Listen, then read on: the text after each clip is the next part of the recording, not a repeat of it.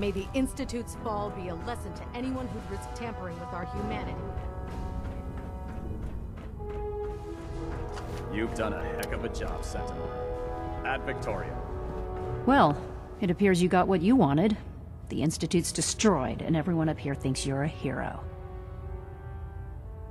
I never asked to be called a hero. I was just doing what I thought was right. Well, maybe you should take a step back for a moment and analyze what you just did.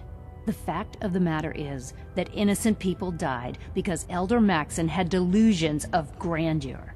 He kept preaching that the Institute was playing God for creating the synths. Well, you know what? Maybe he should take a look in the mirror, because he's the only one that I saw that's been playing God. I don't want to lecture in morality. Of course. I wouldn't want to ruin your celebration, Sentinel. You know, I actually convinced myself that you were using Liberty Prime as leverage. That you were hoping for the Institute to surrender.